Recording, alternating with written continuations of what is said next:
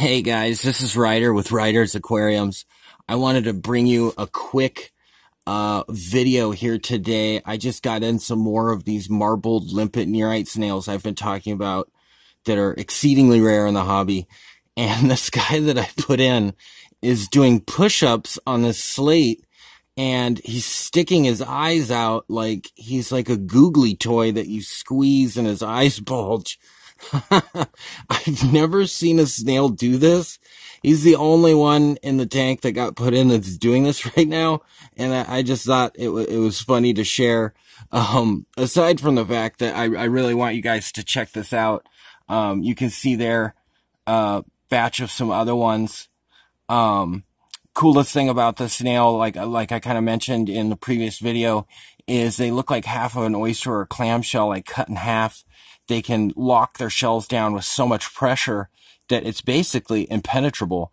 Um, they're they're put into tanks that normally cannot handle or hold invertebrates of any kind, uh, especially of that size, like uh, North American cichlids, um, a lot of predator tanks, uh, puffer tanks, things like that.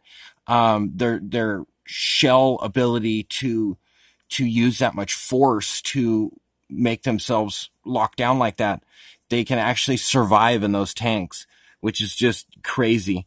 Um, I am going to be trying in a future project to take these guys and add them to a brackish water tank in an attempt to breed them.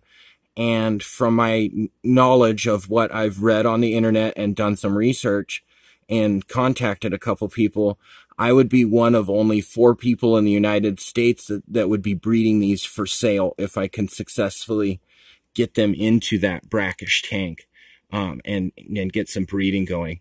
But I thought you guys would like to check this out. This guy is hilarious. Um, uh, leave a comment. Um, please subscribe if you can. Hopefully I can, I can bring you guys some more videos consistently and hopefully I can show you some more rare stuff like this because that's honestly my specialty and that's my passion is to have things that people don't normally get to see, people don't normally get to have, and I hope you guys enjoy seeing them. Uh, this is Ryder. Thank you guys. I'll talk to you soon.